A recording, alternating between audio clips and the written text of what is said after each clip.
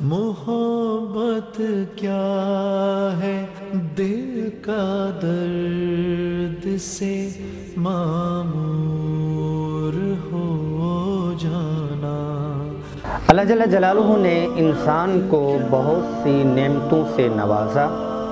ان نعمتوں میں اس کے اندر کی کیفیات ہیں، جذبات ہیں، احاسیس ہیں، اس کے مشاعر ہیں۔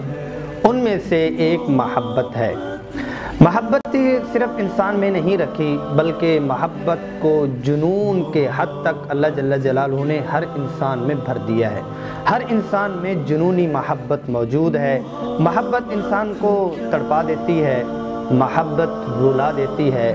محبت سب کچھ فدا ہونے پر انسان کو آمادہ کر دیتی ہے۔ سم ٹائم عقل ختم ہو جاتی ہے۔ سب کچھ محبوب کے لیے لٹانے کو تیار ہو جاتا ہے۔ یہ اللہ جل جلالہ نے اس درجے کی محبت رکھی ہے۔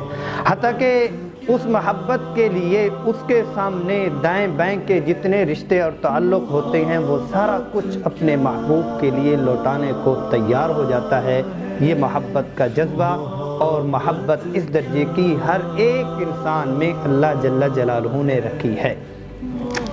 اب سوچنے کی بات یہ ہے کہ اللہ جل جلالہ نے یہ محبت رکھی جو ہے یہ انسان کو انسان کے سامنے تڑپانے کے لیے، رلانے کے لیے، رسوا اور ذلیل کرنے کے لیے بعض اوقات اس لیے رکھی ہے، نہیں۔ بلکہ یہ اللہ جل جلالہ نے جو اس درجے کی محبت رکھی ہے، وہ اپنے لیے اور رسول صلی اللہ علیہ وسلم کے لیے رکھی ہے۔ کہ انسان ان کو پہچان کے، ان کے ساتھ محبت کرے اور سارا کچھ ان کے لیے جو محبت کے لوازبات ہیں وہ لوٹا دے اور ان کے اوپر فدا کر دے۔ جی محبت کا یہ جو جذبہ ہے، ہمیں اللہ اور اللہ کے رسول صلی اللہ علیہ وسلم کا خیال اور بہت کم یہ کہ ان کے ساتھ ہم اپنی اس کے ساتھ اس طرح کے جذبات جو ہیں وہ تقسیم بھی کریں وہ ہم آپس میں تبادلہ بھی کریں اور ان کے سامنے پیش بھی کریں۔ محبت بنیادی طور پر تین سبب کی وجہ سے ہوتی ہے۔ یا کسی کا جمال ہے، یا کسی کا احسان ہے، یا کسی کا کمال اور کردار ہے۔ جب ہم دنیا میں دیکھتے ہیں کہ رسول صلی اللہ علیہ وسلم سے خوبصورتی کسی اور کی خوبصورتی نہیں ہو سکتی۔ صحابہ اکرام نے یہ جمال دیکھا تھا۔ انہوں نے اللہ اکبر دودھ پیتے بچے بھی فدا کیے۔ اپنا کھانا، کپڑے، اپنے جذبات اور عزت جو ہے انہوں نے رسول صلی اللہ علیہ وسلم کے لیے پیش کر دی۔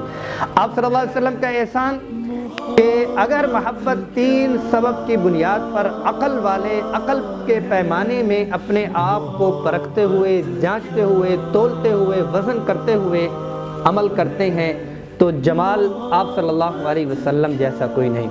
احسان کی بنیاد پر محبت کرتا ہے کہ اس نے مجھے اینک دے دی، موٹر بائک دے دی، پلاٹ دے دیا گاڑی دے دی، مجھے نوکری لگوا دی۔ اس کے احسان پر سارا کچھ اس کے اوپر فدا ہو رہا ہے۔ آپ صلی اللہ علیہ وسلم کا احسان کہ ہمیشہ ہمیشہ کی آگ سے انسانیت کو بچا لیا، اس سے بڑا احسان کوئی نہیں۔ اللہ کا تعارف کروا دیا اس سے بڑا احسان کوئی نہیں۔ اپنی رحمت اور محبت دے دی، اس سے بڑا احسان کوئی نہیں۔ کردار اللہ اکبر، جو قریب آتا کبھی دور نہ جاتا، جو ایک دفعہ دیکھ رہتا تو دیکھتا ہی رہ جاتا۔ یہ رسول صلی اللہ علیہ وسلم کے ساتھ اور اللہ جل جلالہ کے ساتھ عقل کی بنیاد پر اگر محبت کرنی ہے تو پھر یہ ہستیاں ہیں۔ یہ اب یہ ہے کہ جس کو ہم تعبیر کر دیتے ہیں کہ عشق مجازی اور عشق حقیقی۔ یہ میں چودہ فروری کے حوالے سے گزارش یہ کروں گا کہ میری یہ بات مکمل وہ احباب سنیں جو اس سے بچنا چاہتے ہیں۔ ہم عمومی طور پر اس محبت سے بچنا نہیں چاہتے۔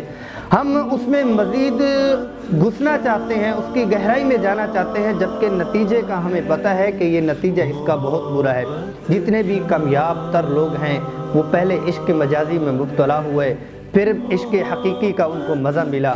جو ڈھسے ہوئے تھے عشق مجازی کے، ان کو لذت محسوس ہوئی عشق حقیقی کی۔ لیکن ان لوگوں کو جو بچنا چاہتے تھے، جو اپنے آپ کو بچانا چاہتے تھے۔ اب یہاں پر یہ گزارش میں یہ کروں گا کہ اللہ جل جلالہ نے اگر یہ جذبات رکھے ہیں، ہم نے کمال سوچا نہیں، جمال سوچا نہیں، کردار سوچا نہیں، احسان سوچا نہیں، جس کی وجہ سے کسی کو گاڑی سے محبت، کسی کو گھر سے محبت کسی کو کلاس میں بیٹھنے والے اسٹوڈنٹ سے محبت، کسی کو چلنے والے اور چلنے والی سے محبت، کسی کو اپنے جانوروں سے محبت، کسی کو کھیت سے محبت۔ محبت ساری درست ہے، ہونی چاہیے۔ والدہ سے بھی محبت، والد سے بھی محبت، اب بہن سے بھی محبت، بیوی سے بھی محبت، استاد سے بھی محبت، بڑے اور پیر اور بڑوں سے بھی محبت، علماء سے بھی محبت۔ لیکن ایسی محبت کے دماغ پہ پردہ آ جائے۔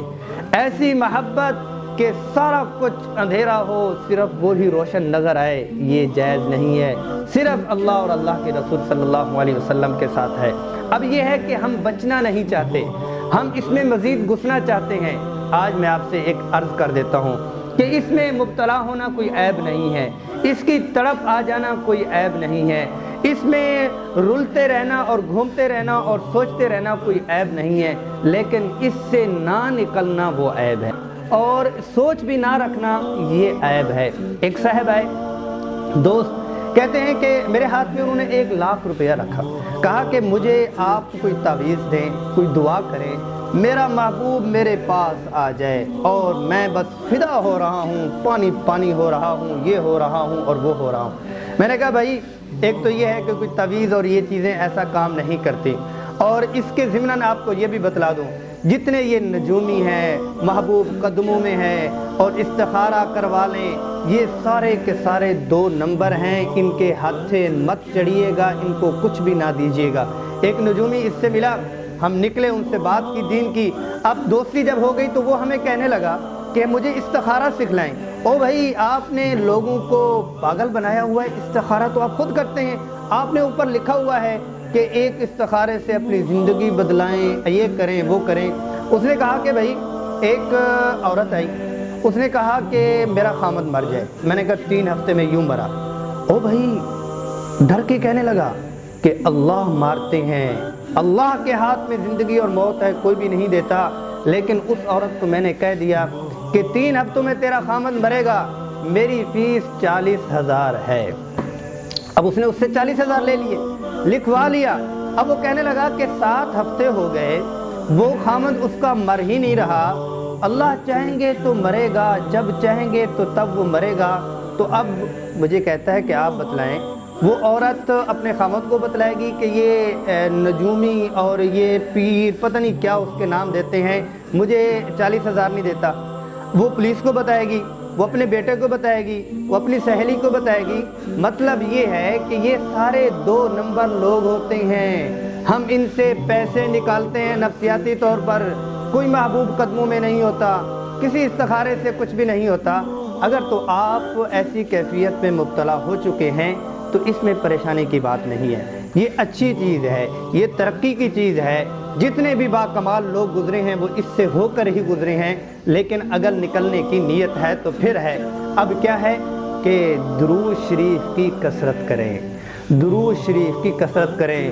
درو شریف شفا ہے، علاج ہے۔ رسول صلی اللہ علیہ وسلم سے محبت موو ہو جائے گی۔ رسول صلی اللہ علیہ وسلم کی طرف محبت مڑ جائے گی۔ اب یہ ہے، یہی محبت ساری رات عثمان بن عفان رضی اللہ عنہ اللہ کے سامنے اللہ اکبر کر رہے ہیں۔ ساری رات کھڑے ہوئے ہیں۔ آج بھی محبت ہے۔ ساری رات پیکج لگا کے فون پہ بات کی جا رہی ہے۔ محبت ہی تڑپا رہی ہے۔ رسول صلی اللہ علیہ وسلم اور اللہ کو نہیں پہچانا۔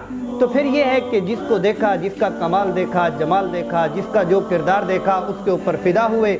سوچے اور تصور کرے۔ درو شریف کی کثرت کرے۔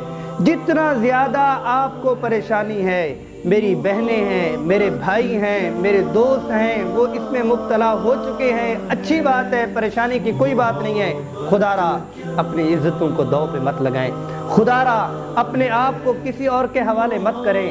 اللہ نے محبت کا جو لذت رکھی ہے، اللہ پاک نے فرمایا کہ جو بندہ اپنی آنکھوں کو جھکا لے گا، اس کو میں ایسے دل میں سکون اور لذت دوں گا۔ کہ آنکھیں اٹھانے کی جو گناہ کی لذت وہ ساری بھول جائے گا۔ دن کے دل کا سکون دوں گا۔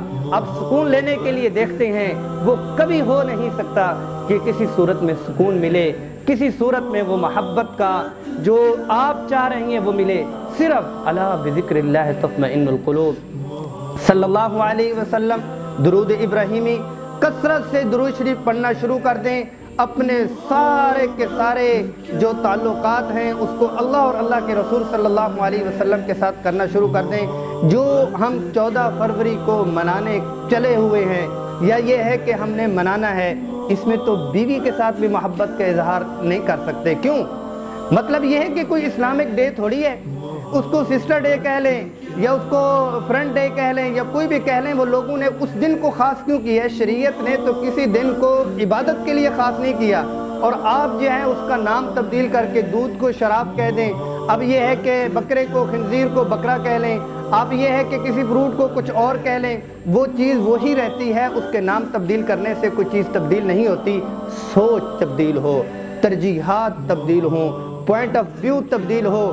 درود شریف کی کثرت کرے، اللہ کی قسم، آپ میں جو محبت اور عشق اور طرف ہے کسی دوست کے لیے، کسی چیز کے لیے، کسی جاندار کے لیے، کسی بے جان کے لیے، کیا ہوگا کہ وہ محبت اللہ اکبر، رسول صلی اللہ علیہ وسلم کی طرف چلی جائے گی۔ وہ محبت، وہ تڑپنا، وہ رونا، وہ آنسو بہانا، وہ موبائل کے بیلنس، وہ اپنی اپنی چیزیں جو ہے وہ فدا کرنا سارا کچھ جو صحابہ نے کیا، اپنا سارا کچھ اپنے محبوب سید المرسلین صلی اللہ علیہ وسلم پر انہوں نے لٹا دیا۔ ہم ان چیزوں سے بچ جائیں، درود شریف کی کثرت کریں، نماز کا اہتمام کریں۔ یقیناً یہ تڑپ جو ہے وہ ختم ہو جائے گی۔ میں جیسے وہ عرض کر رہا تھا کہ ہم بچنا نہیں چاہتے۔ وہ دوست کی جو بات میں بتلا رہا تھا، اس نے کہا کہ مجھے میرا دوست قدموں میں آ جائے۔ میں نے کہا بھئی ایسا کام تو نہیں ہے۔